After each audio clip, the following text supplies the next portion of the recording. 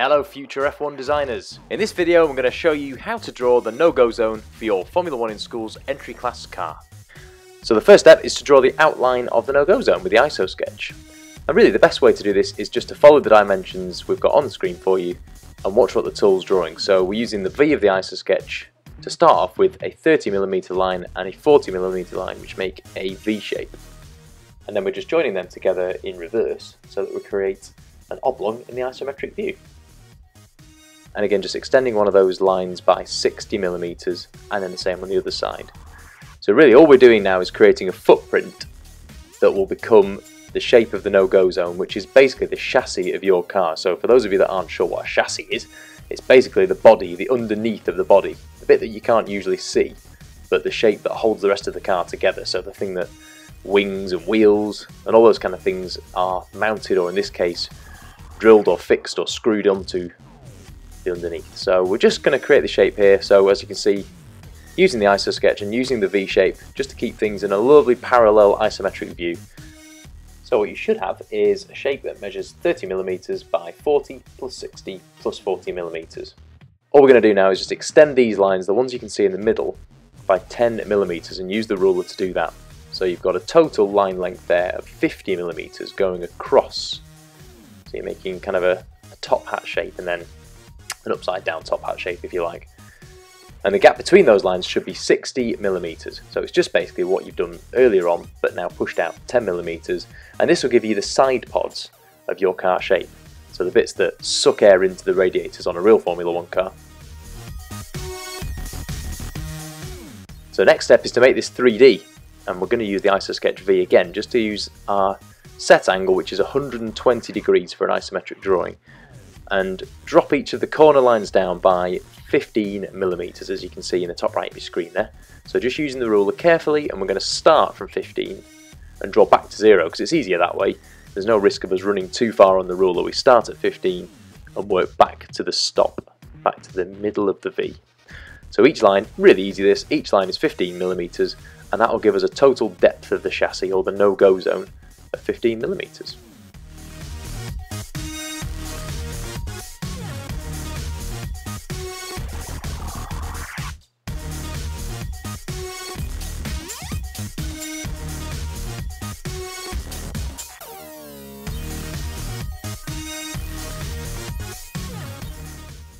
So now we've finished the overall shape and we've dropped down the lines by 15 millimeters, we're just going to basically mirror that shape. So we're going to use the IsoSketch V to draw our 30mm, our 40mm, and now our 10mm line.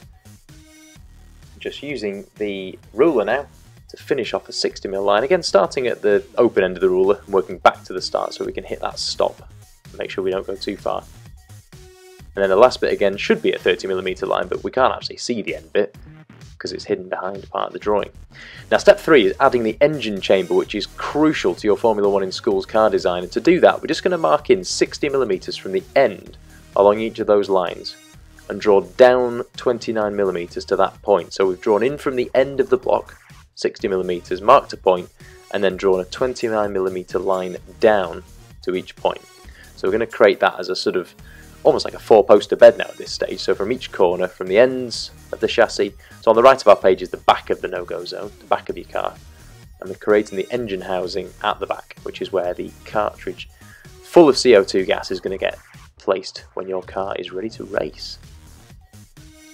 So the gap between these should be 30 millimeters, and again just use the IsoSketch ruler to make sure of that, and then join them up, and you should have a 60 millimeter line there to finish off. So the engine housing is if you think about it, 30 millimeters by 29 millimeters by 60 millimeters long, which fits in perfectly with the entry and development class technical regulations this year.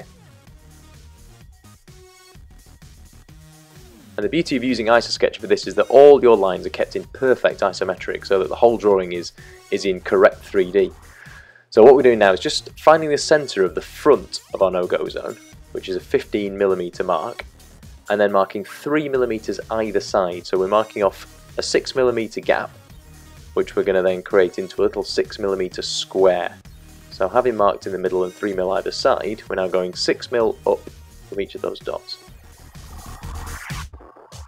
And this will give us the slot which runs underneath your car, which becomes the tether line guide, which for those of you that have not done Formula 1 in schools before, is what stops your car flying off the track. It's essentially a bit of fishing line that stops your car from shooting off sideways when the CO2 canister's punctured. Okay, so what we're doing now, just to finish on, is using the isometric circle stencils with IsoSketch and just using the round edge to give our engine housing that nice curved edge that you'll see in the no-go zone. Not just for style, that's actually part of the regulations. The no-go zone has a rounded off engine housing just to allow you guys a little bit more freedom with the shape that you create. So instead of having sharp edges that you can't do anything with, you can decide if you're going to add on any extra features to the edge. So that's basically how to draw the no-go zone. And step four, because ultimately we want it to look good, we're going to add some definition. We're going to do it using a thick fine liner to begin with.